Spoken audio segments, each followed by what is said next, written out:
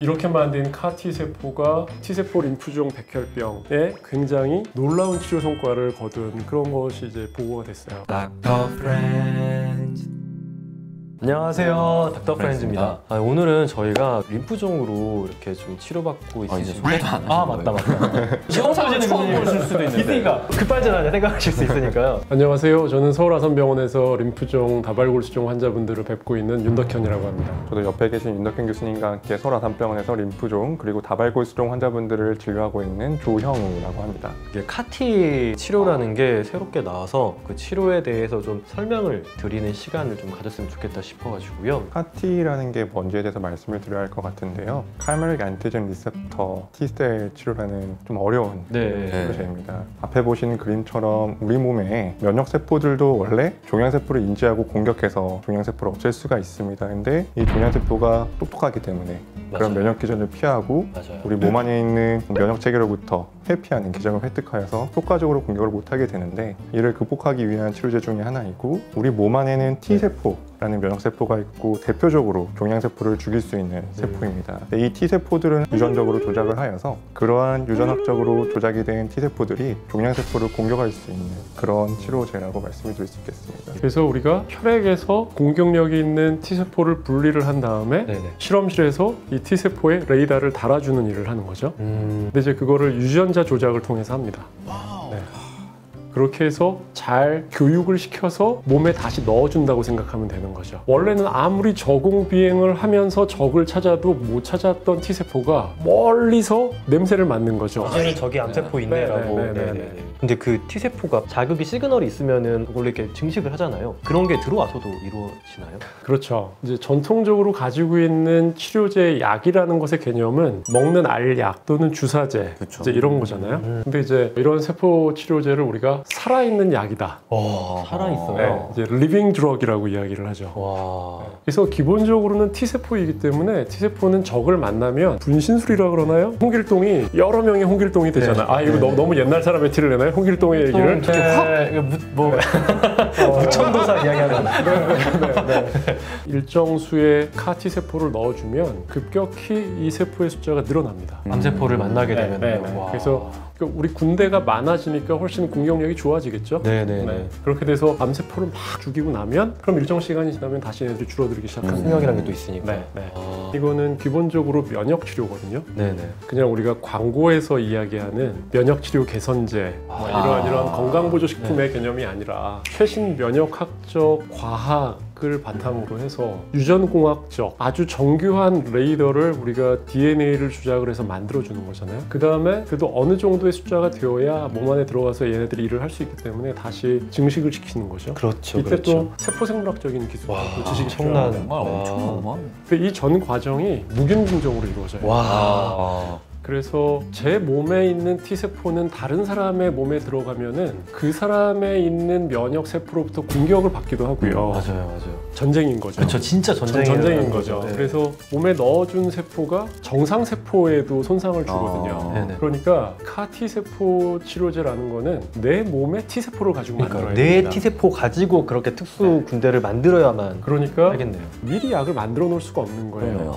그럼 이 약은 그럼 일종의 골든아워라는 게 있나요? 내가 일단 멀쩡한 T셀이 있어야 되는 거고 들어왔을 때 음, 증식할 만한 힘이 있어야 되니까 진짜 중요한 말씀이고요. 결론부터 말씀드리면은 이 카티 세포는 현존하는 어떤 치료법으로도 완치하지 못했던 환자분들을 완치시킬 수 있는 최신 강력한 치료법인 건 분명합니다. 근데 완벽한 건 세상에 존재하지 않아요. 그렇죠 그렇죠. 절대로 완치를 못한다고 생각했던 10명 중에 3, 4명 정도는 이제 완치를 시킬 수 있는 치료라고 생각 하는데 여전히 10명 중에 음. 5, 6명은 이런 치료를 해도 잘 안 되는 거거든요. 근데 그 안 되는 분들이 우리가 분석을 해보면 워낙 많은 치료를 받아서 아, 원재료가 되는 T세포가 건강하지 못한 경우 앞으로 이제 그런 것들까지도 파악을 하고 더 빠른 시기, 적절한 시기에 개입이 들어가면 또 치료 성과가 좋아질 수도 있겠네요. 그렇게 우리가 기대를 하고 있고요. 카티 세포의 치료 영역은 굉장히 많이 확대될 것이라고 생각을 합니다. 이제 현 단계를 조금 더 먼저 말씀을 네네. 드리면 많은 질문 중에 하나는 저는 카티 세포 치료 받으면 안 되나요? 음,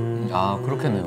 어, 그럴 것 같아요. 그럴 것 네. 같아요. 림프종이 종류가 100여 가지 정도가 된다고 우리가 생각을 하는데 이 중에서는 광범위 큰 비세포 림프종 또는 미만성 거대 비세포 림프종이라고 부르는 비세포 림프종 중에 한 가지인데 이 경우에도 1차, 2차 치료에 실패한 경우에 한해서 지금 현재 이제 사용을 할 수가 있습니다. 아, 백혈병 중에 한 가지에서도 사용을 하는데요. 림- 림프종으로 국한을 하면은 현재 국내에서는 그렇습니다. 킴리아라는 치료제가 3차 치료 이상의 상황에서만 지금 한 가지 병에 대해서 허가가 되고 이제 급여가 되는 상황이고요. 환자분들의 어떤 안전을 도모하기 위해서 그 첨단 바이오법이라는 것이 법이 제정이 되고 발효가 돼서 시행이 되고 있거든요. 첨단 세포 치료제는 이 법에 근거해서 이런 치료를 하기 위해서는 병원에서 일정 수준의 시설을 갖춰야 되고 아 절차들을 확립을 해야 되거든요. 네네.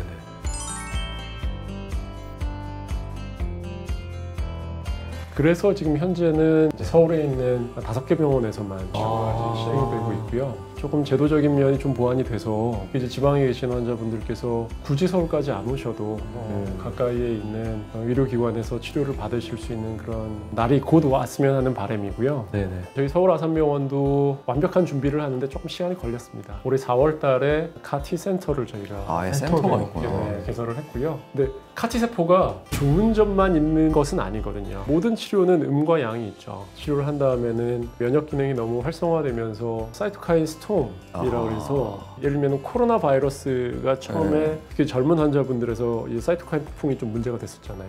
신경계 부작용이 또 발생하는 경우도 있어요. 음. 갑자기 글씨를 못 쓴다든지 말을 잘 오. 못한다든지 의식이 떨어진다든지 이런 부작용을 잘 대처할 수 있는 다학제적인 팀의 구성이 아. 필요합니다. 그러겠네요. 사실 그건 또 전신에 다 생길 수 있는 네, 부작용일 네, 수 네, 있으니까 네. 감시하고 잘 대응할 수 있는. 그렇죠. 네. 이게 사실 차세대 항암 치료인데 곧 나올 거라고 기대되는 것들이 또 있을까요? 어마무시하게 많아요.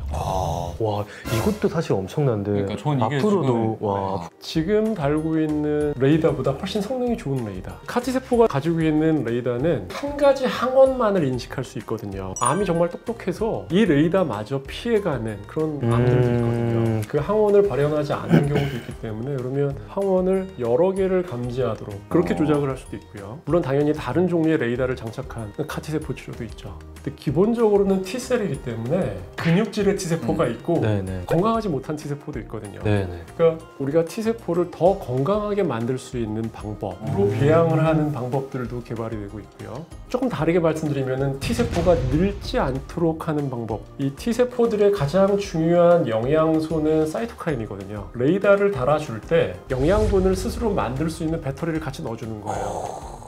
근육질의 카티세포가 돼서 훨씬 더 암세포를 잘 죽일 수 있도록 만드는 거죠. T세포의 기능을 개선하기 위한 굉장히 많은 연구들이 지금 활발하게 이루어지고 있고요. B세포 림프종뿐만이 아니라 T세포 림프종에 대한 카티세포 치료들도 많이 개발되고 있어요. 카티세포도 T세포잖아요. 그러니까요. 네. 그러면은 T세포를 공격하게 만들면 서로 잡아먹을 거 아니에요. 네. 그러면은 카티세포가 잘 안 만들어지거든요, 기본적으로. 네. 근데 이거를 유전공학적으로 조작을 해서 해피도 하나? 그렇죠.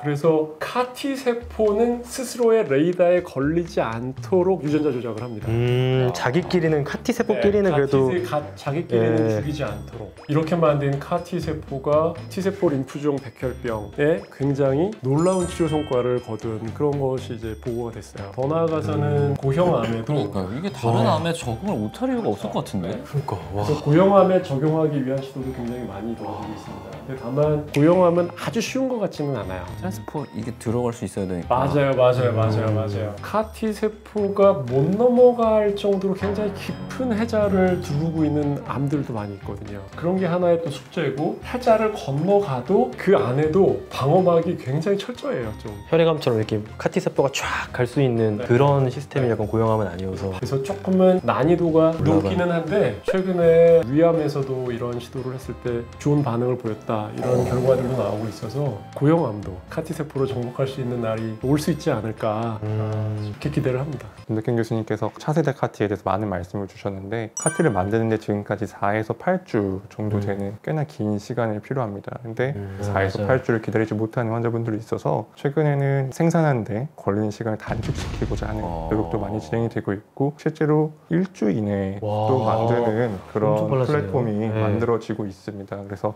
보다 더 환자분들이 접근이 용이하게 될 것으로 생각하고 있고요. 더 나아가서는 지금까지는 이제 카티를 말하면은 자기의 T세포로 카티를 만들어서 다시 환자에게 주입하는 게 대부분이긴 하지만 최근에는 건강한 사람의 T세포를 사용해서 카티를 세포를 미리 만들어 놓고 필요한 경우에 그걸 바로 사용할 수 있게 오. 하고자 하는 초기 임상 연구들도 진행이 되고 있고 실제로 꽤 좋은 효과를 보여주는 연구들이 최근에 속속들이 음. 발표가 되고 있습니다. 그래서 보다 환자분들에게 더 빠른 시간에 카티가 투약될 수 있게 하고 자 하는 노력들이 진행이 되고 있는 것도 알고 계셨으면 좋겠습니다. 오늘 콘텐츠가 정말 좀 많은 이런 암 환자 분들에게 좀 희망이 될 수 있는 그런 콘텐츠였으면 좋겠다는 생각이 들고요. 의학이 정말 많이 발전을 하고 있다는 거를 진짜 느낄 수 있는 시간이었던 것 같습니다. 저희 콘텐츠가 도움이 되셨다면 구독과 좋아요 부탁드리고요. 다음에 저희는 더 좋은 콘텐츠, 환우분들에게 도움이 되는 이런 영상으로 찾아오도록 하겠습니다. 감사합니다.